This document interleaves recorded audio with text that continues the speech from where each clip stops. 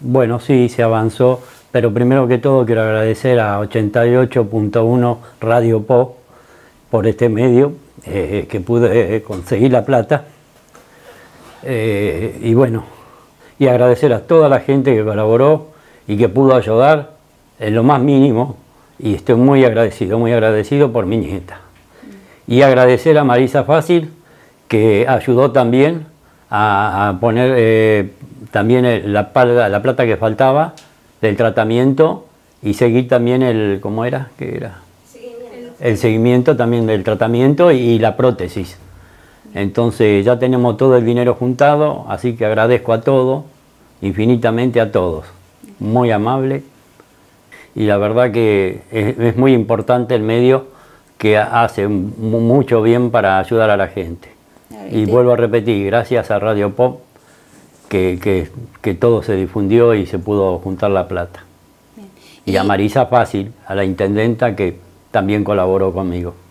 Te pusiste al hombro una situación muy, muy difícil, ¿no? Sí, muy difícil. Encima recibí muchas protestas de malas, sin pensar en la nieta o en la hija, nada más. Porque no pensaron nada más que en eso.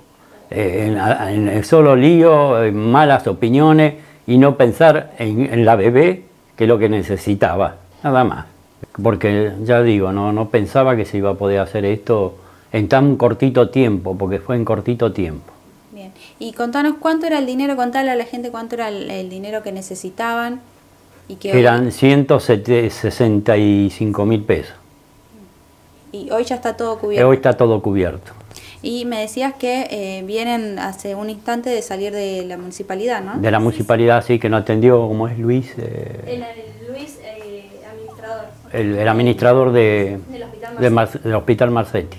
El lunes tiene que ir para tomarle nuevamente las medidas y a lo sumo una semana ya tiene el casquito y bueno, eh, después sigue el tratamiento que son como dos o tres meses. Cada 15 días tengo que ir a la capital. Sí, cada sí, 15 días o una semana más o menos dijo.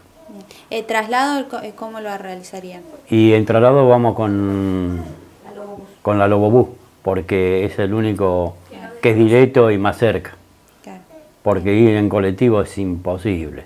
A esa hora de la mañana es imposible. Que ustedes eh, tocaron distintas puertas, ¿no? Sí, eh, muchas puertas tocamos.